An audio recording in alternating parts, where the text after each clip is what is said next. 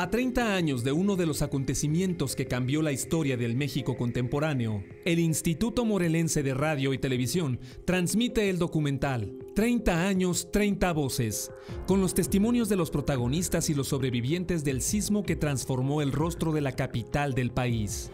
Llego corriendo, digo, cuidado, está temblando. Pum. Se rompió el edificio y se cayó. Jueves 24 de septiembre, 10 horas. Sábado 26 de septiembre, 21 horas. Domingo 27 de septiembre, 23 horas. Canal 49, el canal de Morelos.